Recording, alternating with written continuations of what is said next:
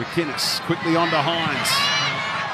Hampton fumbled, left it behind, and Teig Wilton says, Thank you very much. What a turning point, sliding doors moment in this game.